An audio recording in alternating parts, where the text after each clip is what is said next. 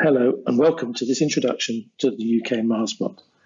I'm Ian Butterworth. I'm currently the chairman of the UK Micromouse and Robotics Society, and I've built a UK MarsBot so I can give a few tips on its construction.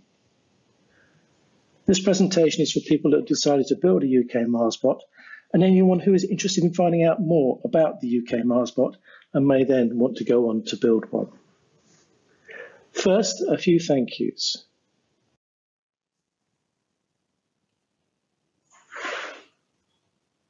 The UK MarsBot is a result of the contribution of many people, and I would like to thank everybody that's been involved, the UK Mars members that have helped, and in particular, Peter Harrison, who did the brunt of the design work and also drawing up the boards for the first release, David Hannaford for initial concept ideas, circuit ideas and designs, and also an excellent build guide that's available to everybody. Rob Probin for his help in the early concepts and design ideas and also providing circuits. Gary, Duncan and Derek for reviewing the circuits and the designs and coming up with improvements. Thank you to everybody.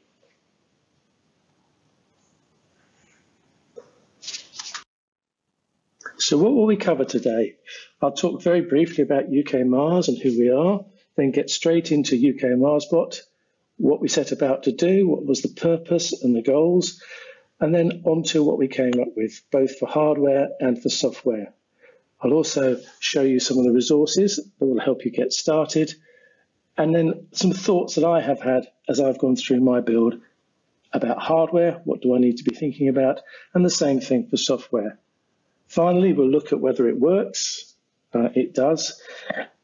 And then we'll look back at the resources that are available to you to get started on this robot. So who are UK Mars?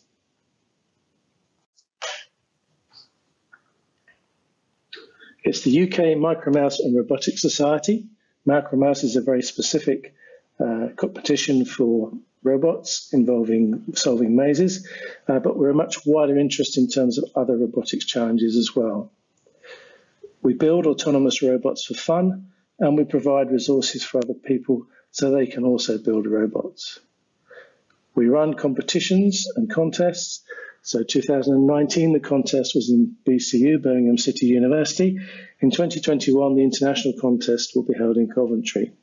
Uh, in 2020, like many other people, our events were severely disrupted by COVID-19, but we are planning Minos conference for 2021 in June and also the autumn contest in Haslemere but we have been successful in bringing about a virtual line follower contest. We send a course around by post and people submit their entries by video. And you can see these on our website uh, and see how people are getting on with that. UK Mars is open for anyone to join, so you might want to think about that. And one of the things that we have come up with is the subject of today's talk, which is UK MarsBot, a multi-purpose robot platform really suitable for first-time builders. So without any more ado, let's start to look at UK MarsBot.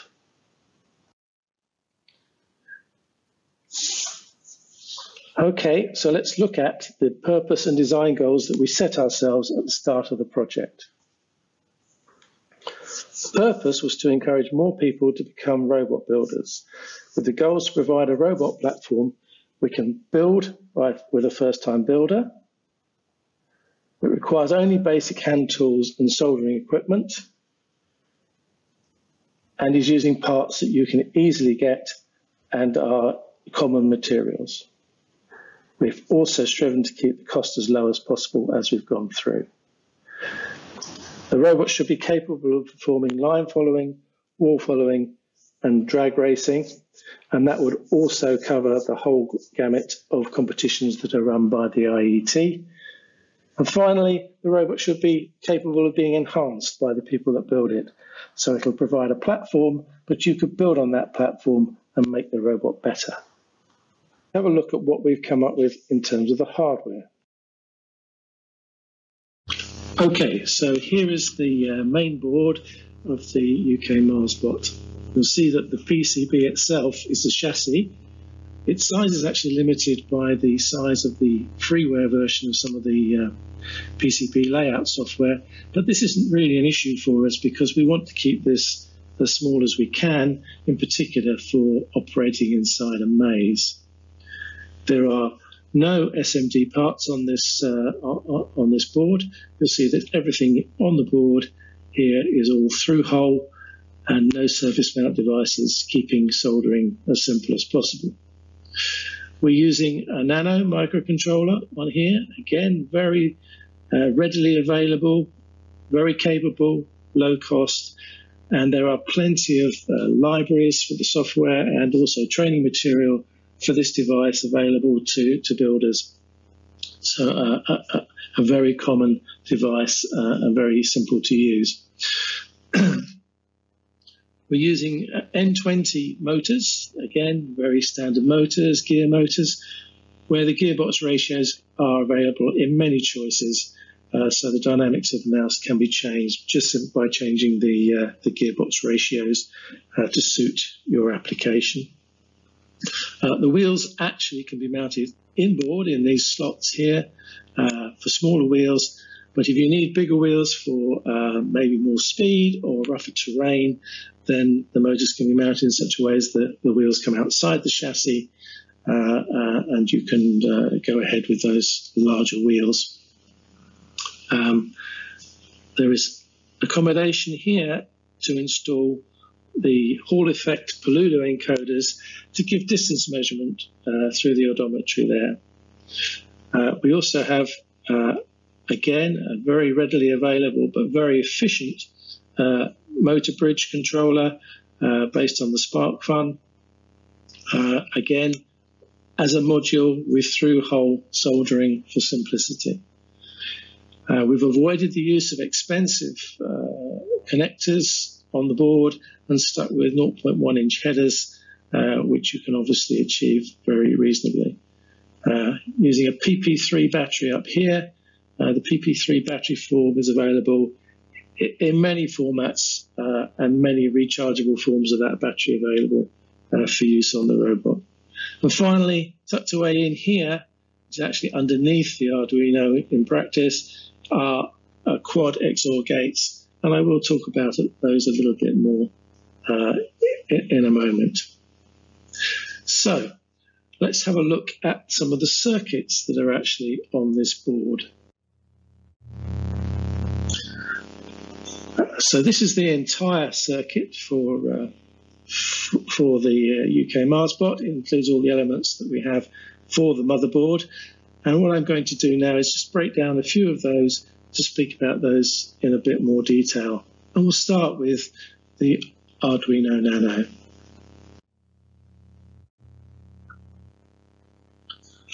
So here is the Arduino Nano. It's a nice device but it only has 30 pins. So pins are at a premium. Uh, so that's been one of the major design features of this robot is trying to get as much as we can out of the pins that are available from this from this device. Um, so I/O typically would have more pins on a robot, and we've had to be pretty inventive about some of the things we've done. So you can see all the pins here are actually in use. We haven't left any any untouched.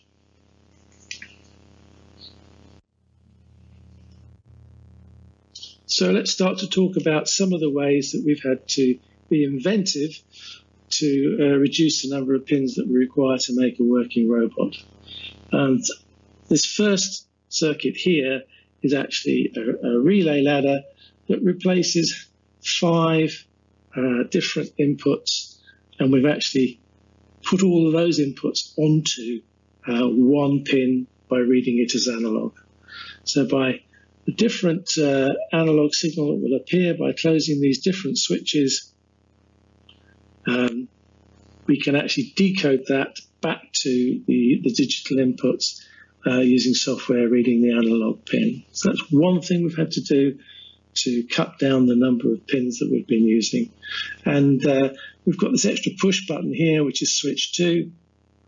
Works fine, but you need to be aware, obviously, that you cannot read uh, all of these dip switches while that push button is pressed because the push button is pulling that input up to 5 volts VCC.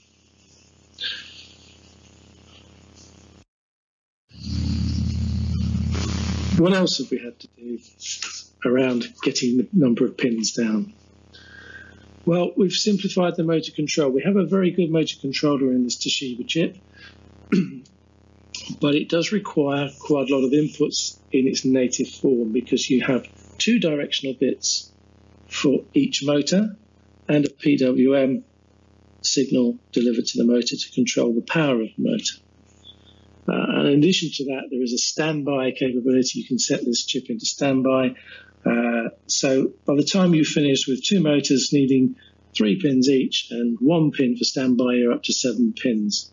And we don't have that number of pins available. So we've simplified our control, first of all, by removing the standby and having the motor controller permanently enabled by taking that pin high. But then also in direction, we have a single bit, which is either high for one direction or low for the other direction. And this is where our XOR gates come in. So by taking that one bit high or low, we can provide the combination of two bits, one high, one low, and always one high, one low to control the, the motor controller in the way it wants to be controlled but by us only using one pin. We have used the uh, XOR gates for other things because we needed to install the XOR gates. Uh, we put quad XOR on there. We're only using two for the motor control. We're actually using the other two to improve the resolution of the quadrature encoders uh, on the back of the motors. And there's a very good materials about this on our website and I refer you to those because they are uh, good reading and probably beyond the scope of this initial uh, presentation.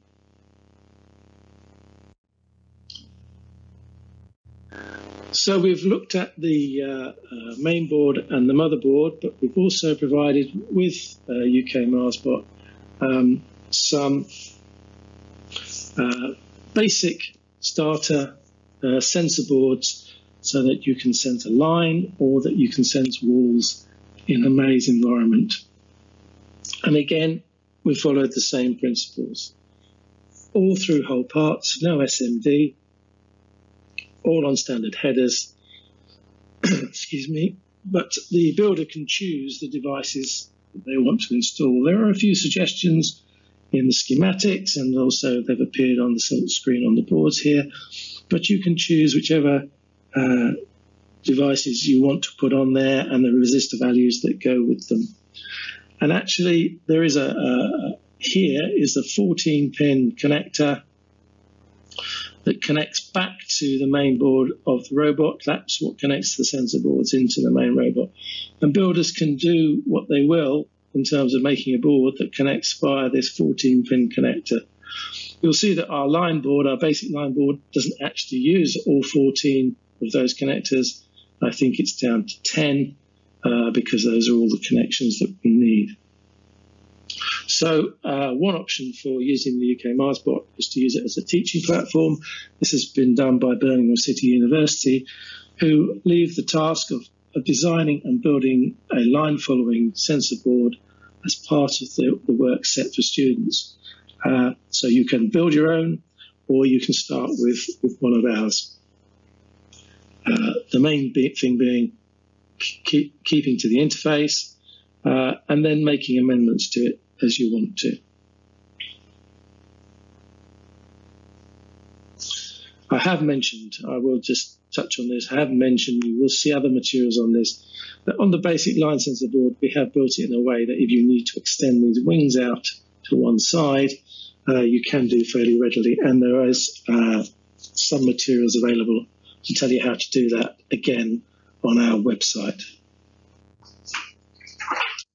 So moving on to the uh, schematic for the basic line sensor board, uh, we can have a quick look at this here. So we have the main connected to the motherboard. That's where all our I.O. is coming in and also power for the board. Uh, we have put a couple of indicator LEDs on the board, uh, which is always useful, so you can switch those on and off to see what you're doing. Um, some suggested devices here, but you can use what you want. Again, phototransistors uh, for detecting either side of the line, the start finish, and the radius markers. and emitter LEDs, again, these are entirely your choice. Um, we will talk about those a little bit more. Uh, emitters can either be switched on permanently by, by using this link, or you can install a transistor here, Q1, uh, to pulse those uh, emitters. So, uh, in practice, they look like when they've been built. Over here, we have a couple of pictures of the robot built with its wall following sensor board installed through that 14 pin connector. And over here we have one that's in line follower format with the line following board installed again through that 14 pin connector there. Uh, this particular line follower has extended the, uh, the sides of the uh, sensors to read the markers more reliably. Uh, and this particular build has had a Bluetooth module installed um, onto uh, onto the mouse to allow some uh, remote control of starting and stopping and logging data. Uh, if you're going to build a UK Mars Marsbot, it's going to end up looking something like this. Uh, but the next slide is probably the most important slide of the presentation for you.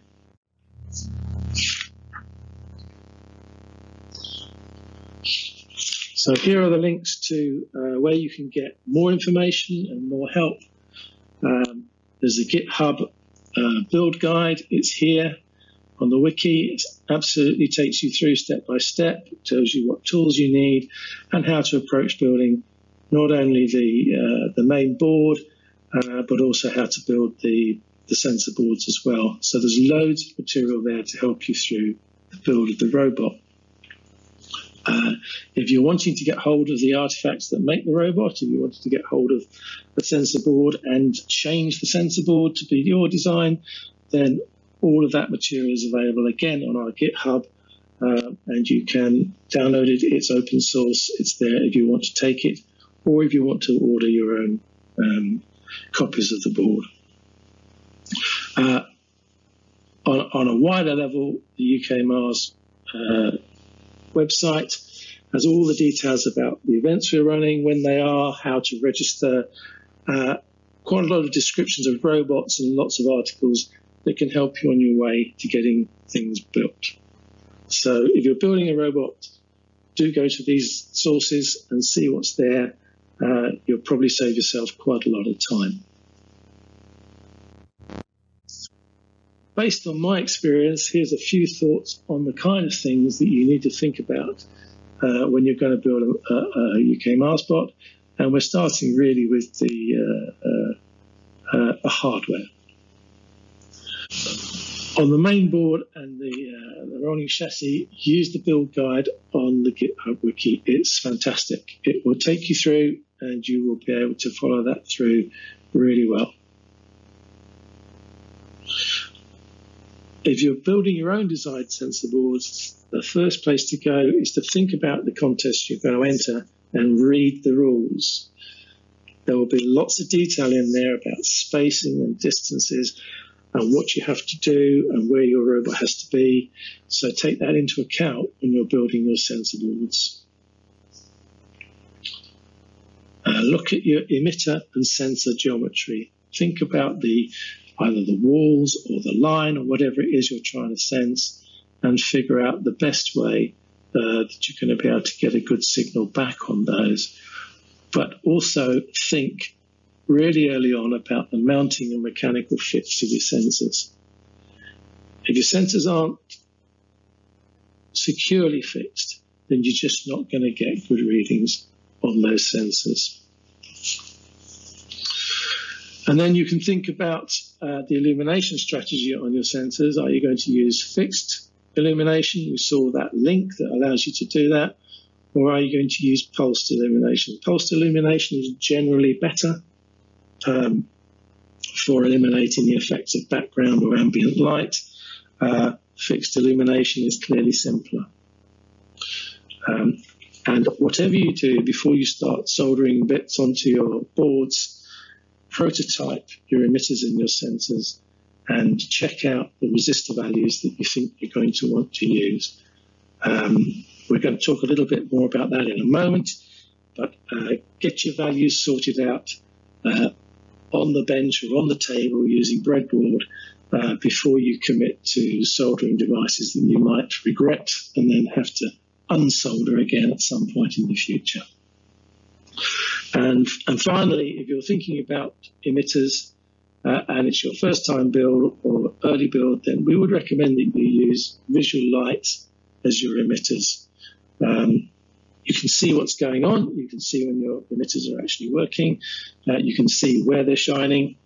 And also, it's really important from a safety point of view. If you're thinking of using infrared, you need to be sure that you are not going to be sending out damaging levels of radiation uh, that could hurt your eyes. So uh, be careful if you're thinking about using infrared.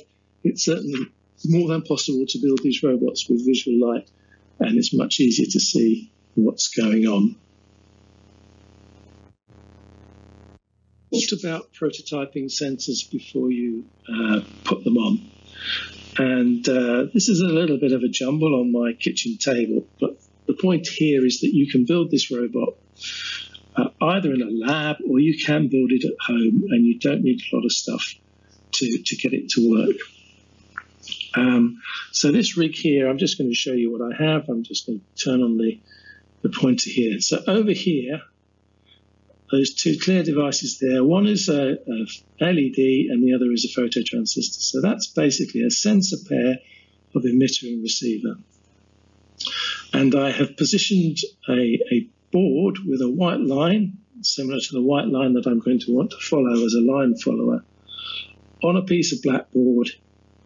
Uh, so this is simulating a line following track on a sensor. So I would rotate that to be facing down directly above those two sensors when I wanted to do tests.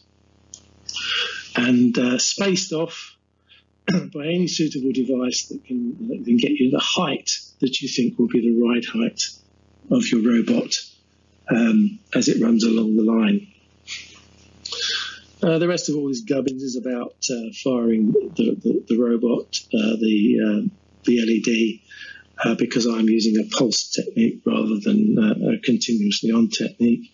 And over here is the Arduino plugged into the uh, breadboard, um, running a test program so I can check out what's going on uh, with the line. So to test it out, I would move this board so the sensors were on the line to being partially on the line to being off the line to see what would happen. Now, if you're at college or at school, uh, or even a keen hobbyist, you may well have an oscilloscope or a picoscope or a bitscope uh, to help you see what's going on. But these devices aren't essential. You can actually get the information you need about your sensors working by a simple program in the Arduino, sending values back to the uh, serial monitor that you can read off and see what values are coming back from your your uh, phototransistor or your sensing device under different scenarios. It is nice to have the oscilloscope if you've got it, but it's not essential. So these two traces over here are showing you what I was seeing coming back from this sensor pair over here. So the green line is actually the low side of the LED. So this is the LED when it's switching on. The low side goes down. And the yellow line is the uh, output from the phototransistor. So this top plot here is where my uh, sensors are slightly off the line. So you can see there's the phototransistor firing, and here is, uh, uh sorry, here's the LED firing, and here's the phototransistor's response. um, while the uh, while the sensors are slightly off the line. And this plot down here is actually what it looks like when I'm directly over the line, which is what I want to see. So I'm getting pretty well a, a nice big displacement when I'm over the line coming out of the photo transistor. Uh, and then when I'm moving off the line, I'm getting a, a gradual reduction in the photo transistor's reading. And the only other thing to pull out here, which you can see with a, an oscilloscope, and you can't see necessarily when you're doing your own, doing this just by outputting values to the serial monitor on the Arduino, is you can see the time delay response between the LED switching on and the uh, photo transistor actually reaching its stable value. So you know how long you need to wait between switching on the LED and reading the photo transistor. So you get them all working on here uh, before you start soldering them into the boards. Let's talk a little bit now about software. Well, the Arduino has masses of libraries, more libraries than you can shake a stick at, and loads and loads of examples and tutorials. And the big advice here is to keep it simple. Just keep it simple. Uh, use stuff if it's useful, but primarily don't get overcomplicated with what you're trying to do. Look at the sample code on the UK Mars GitHub. We have put sample code up there. It won't run you a, a wall follower or a line follower straight out of the box, but it will give you lots of ideas on how to uh, use the hardware and also put things together. But whatever you do, make sure you understand what you've got in your robot. You will not be able to uh, debug your, your robot and get it to do uh, what you want it to do uh, if you don't know how your software in there is working. So don't just copy loads of code from somewhere. Um, you need to know how it's meant to work. As a starter, here is a, a basic block diagram for uh, a, a simple line follower. And I'll just walk you through the elements of this simple line follower.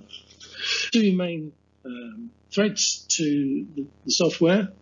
Um, most of the work goes on over here. You want to go around checking things, uh, and your control loop will sit driven from a, a, timer interrupt typically.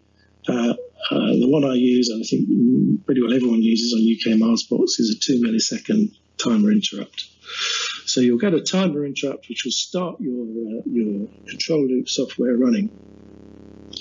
And while you're in that control loop, you'll be sampling your sensors. So you'll be looking to see what's going on. Uh, and based on what you've seen from those sensors, you'll decide where you are. Are you, uh, have you started or are you finishing, for example, from the start finish markers?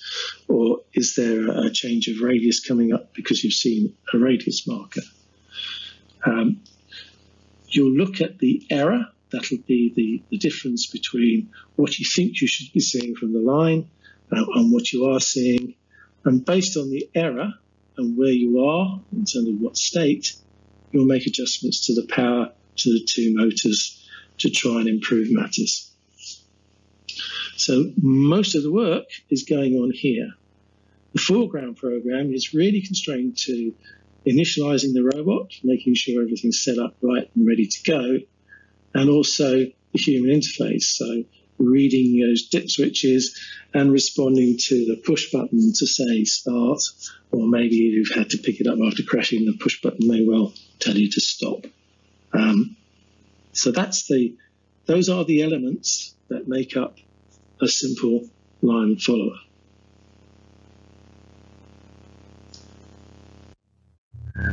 We can actually build on that simple line follower, which all those elements are still in here, but we've added a few extra things into this software to make a slightly more complex line follower. The main thing we've added here is we've actually added encoders on the motors, so we have some idea of distance. So as well as a timer interrupt in the loop, there will be encoders on the back of the motors driving interrupts from which you can calculate distances. And because your control loop is on a fixed time base, typically two milliseconds, because of that and knowing what distance is, you can calculate your speed and your angular velocity. So you now can enhance this control of the motors, not just to include what's going on with the line and what state the mouse is in, but also using the speed and angular velocity of the robot to end up with your final adjustment to the two motors. So this is adding odometry over here to the control of the robot. The other thing you can do uh, if you're going to enhance this is because you know about distance now through your odometry, you can start to memorize the line by, uh, in the case of exploring the line, writing the maneuvers, or if you're getting onto a, a, a faster run, reading the maneuvers in advance so you actually know what your robot's going to have to do. These are, is, these are all things that can either be added or not added, and you can do this in a very progressive manner. Uh, finally, you can add an extra length to the uh, foreground program. Uh, we've talked about it previously. It's not really doing very much. It's waiting for you to press buttons or flick switches. So you can actually give it some work to do by logging some data, maybe from your sensors, um, that you can look at later on uh, and see what's going on. So that's the more complicated block diagram for the software of a line follower.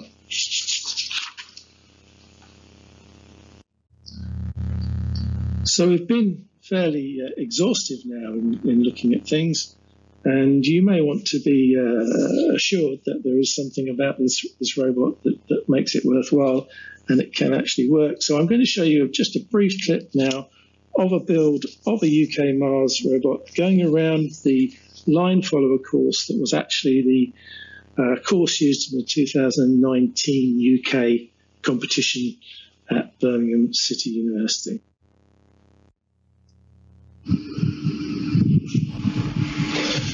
So here is the robot.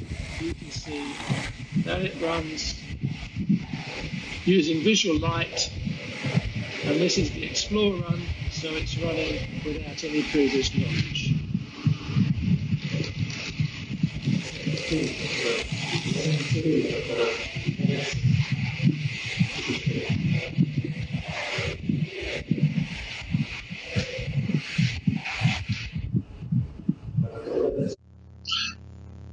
So from that run that we saw going there, um, we can extract a little bit more information from it. Uh, so I apologise for the background noise on that recording. It was a pretty noisy environment. So what I'm showing you here is some data. Remember I talked about doing some data logging maybe in your foreground program um, rather than just be sitting there waiting for the next timer interrupt to come along. And uh, what we have on here are a couple of plots this first plot here is looking at the uh, start finish sensors. So red is the start finish sensor and green is the radius sensors. They are the markers that are on the course before every change of radius, so before every curve or coming out of the curve into a straight, to see uh, just what uh, this robot is seeing. And you can see some fairly nice, clean markers here. Uh, and the last thing you see, of course, is the finish marker.